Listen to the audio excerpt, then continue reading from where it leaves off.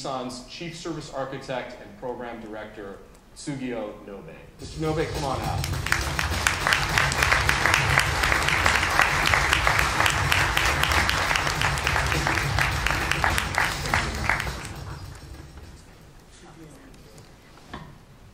So I know a lot of people are excited to hear from you today. I mean, I think cars are, are something that everyone can relate to, uh, particularly here in the United States. And uh, Nissan is, is obviously one of the cutting edge companies in terms of Thank you very much. automobiles. Uh, Yes.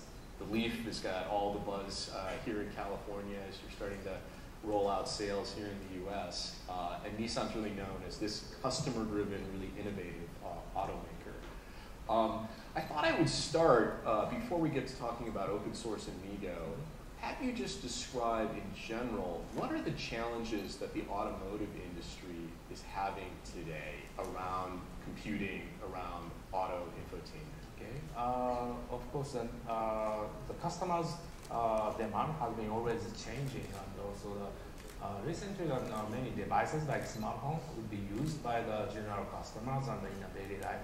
And once the vehicle is now connected to the network, we have to prepare for that. So that we have to implement a quite flexible system inside the vehicle uh, to make connection of the vehicle to the uh, vehicle to the uh, network. Yes, maybe that is the kind of challenges and uh, changes recently we see. Right, right.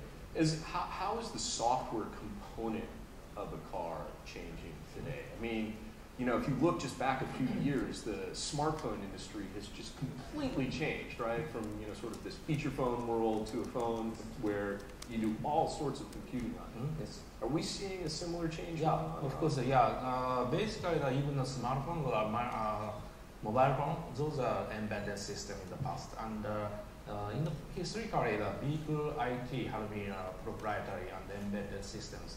But uh, recently, the hardware and software resources have been uh, increases, increasing or expanded a lot, which is same with the smartphone.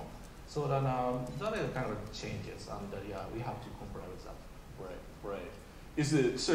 You know, like smartphones, are cars now coming with a bigger memory footprint, faster processors, more demand for you know consumer services in the car through the infotainment units? I mean, is it how big is that change for you at?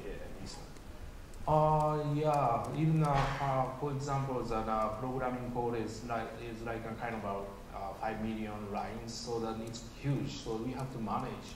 Uh, if we have a kind of proprietary systems, uh, we make it by ourselves. But if we can comply with the open source systems, we can uh, use uh, kind of modulated softwares and uh, reuse or or such kind of things. So the, of course, the implementation of the open source uh, community of a software idea, the development technology would be a must to have for the even automobile industry. Yeah, just because the amount of code that you have to create is so big, you got to start somewhere. Uh, of course, the functionality is also expanding. Right. It's not only GPS, but also that we have to have the internet connection and the multimedia players and many things. Almost the functionality is almost the same as the smartphone. Right, right. And so, you know, you've clearly chosen to use open source to address that new functionality requirement, that larger footprint of software in the car. I mean, what was that like for Nissan when you first went to your coworkers and said, hey, we, we've got to go with open source in the automotive industry? Were there any challenges? Yeah, of course, yeah. Um, most of the people say that it's ridiculous. It's a kind of foolish thing to uh, have the open source inside a vehicle. Maybe because of the safety issue. Uh, of course, we can keep a very good safety even if we are using uh, open source. So that basically the mindset of the developers, even the IT de- developers in uh, automobile industries, have a very fixed mindset, and it, it's quite analog. I mean, they're, they're thinking about analog things. So the, we, I have to educate or uh, propose and explain how the open source is good. Basically, uh, digital and module standardization, those things are quite important to make a time to market type of introduction of the product. So that uh, the biggest challenge for me is to change the mindset of the internal company. Right, right. What would you, when you're trying to change that mindset, what would you say is the number one advantage of using something like MeeGo for a company like Nissan? If I'm, I'm a coworker, what, what do you say here? We have to use open source in MeeGo because why? Um, of course, yeah. The most important thing is the time to market, and uh, uh, basically, that uh, as I said, uh, if we make a proprietary things, uh, we have to do everything by ourselves, basically. But the, if we can comply to that open source, uh, we can allow, or we can use the many good devices and also sources or modules from outside. And its expansion or expand, expanded that progress or advantage. Uh, yeah, anyway, those things is always there in outside the vehicle, and we can uh, just use and uh, combine those functionalities to make uh, unique services for the future. And of course, uh, we can make easy connection to the good services out there.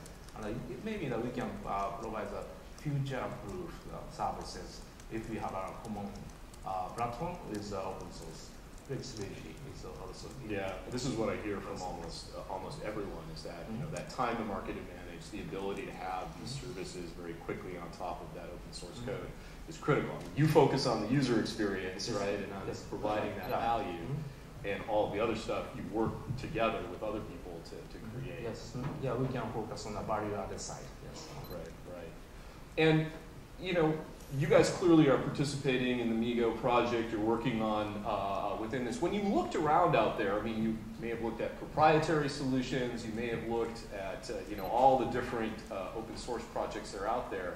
Why did you choose MeeGo as a, as a place to participate in open source? Uh, we believe that the, the direction of the MeeGo is quite right, and uh, there are several uh, mm, open source projects, and but I, I, I think that uh, MeeGo is just only the uh, kind of project which certifies the automobile implementation, like uh, in-vehicle infotainment.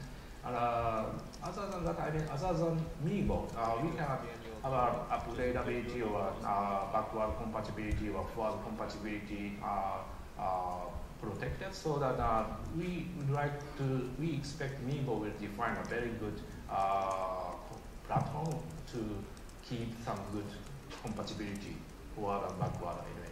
So that, uh, that, that I believe that MeeGo will do that. So that uh, we think that MeeGo's direction is quite accepted by many automobile companies like right. Right, and you know clearly there's a, you know there's an automotive effort going on. It's very very focused on the requirements for that industry and sort of borrowing technologies from other sectors in order to benefit you. So it seems like a, a good fit uh, for you. なるほど。